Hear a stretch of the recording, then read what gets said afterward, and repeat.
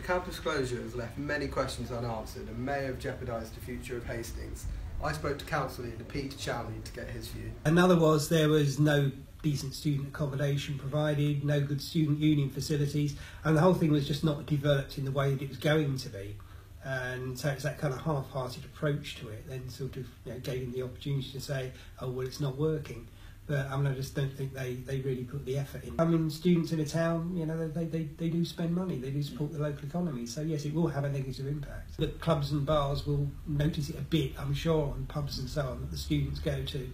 um, but you know it was it was part of their business not all of uh, the money that was used to uh, create those university buildings was regeneration money given specifically for the purposes of economic regeneration in Hastings and the idea that Brighton University would simply sell those off and take the money back to Brighton just asset strip is just you know whether it's legal or not it's extremely immoral